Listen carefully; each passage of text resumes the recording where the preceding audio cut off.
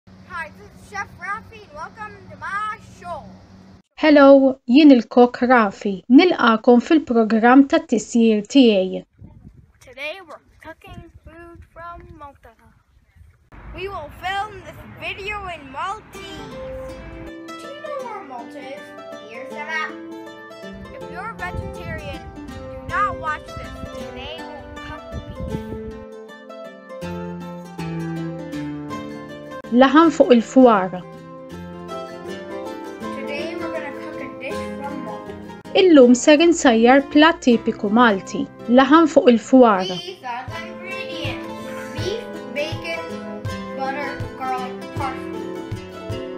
Dawn huma l-igrendienti li għandek bżonn.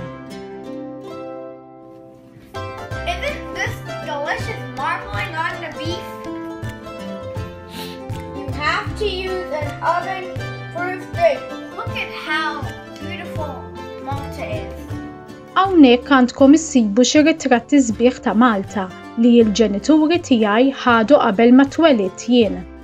Ejja nibdew insajru. Ejja nagħllu ftit ilma ġo borma. Aħna ser nistimjaw biċċiet irqaq ta' laħam ta' ċanga jew friża fuq borma miskunjali.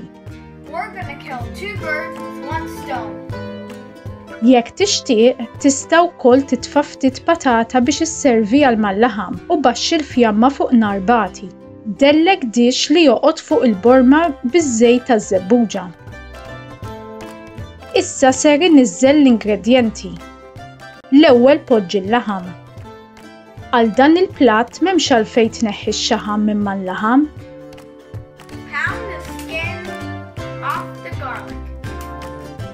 Uża tewm frisk, mhux trab tat-tewm.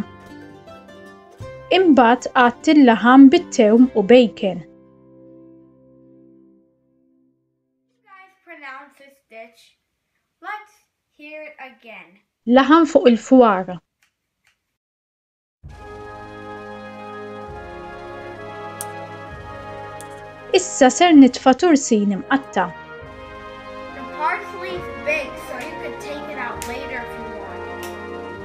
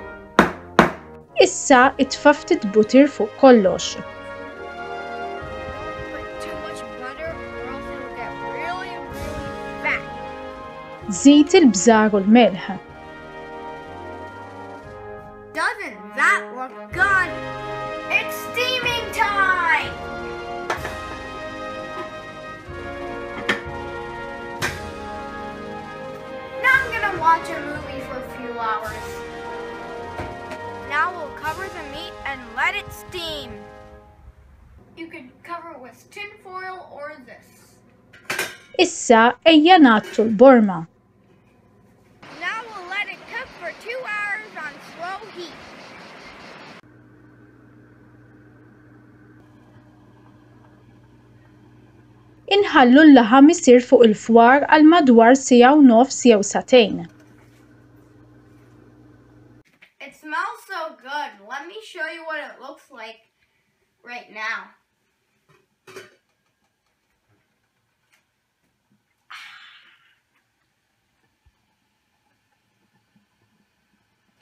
L-influwenzi fil-kċina Maltija ivarjaw mill-Grieg sal-Isqalli, mill-Franċiż sal-Ispanjol, mill-Afrika ta' Fuq u saħansitra l-Lvant Nofsani.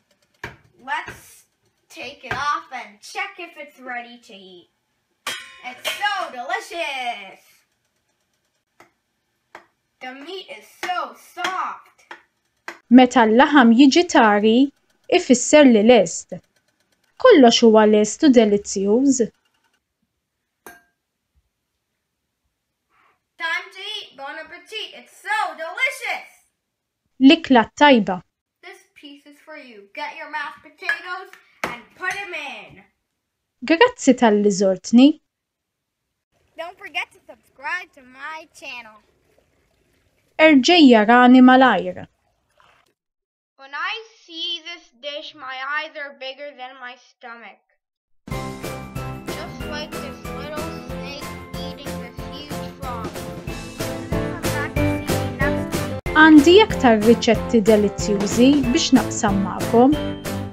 Iċċekkjaw il-websajt tiegħi fuq ċefrafi.com.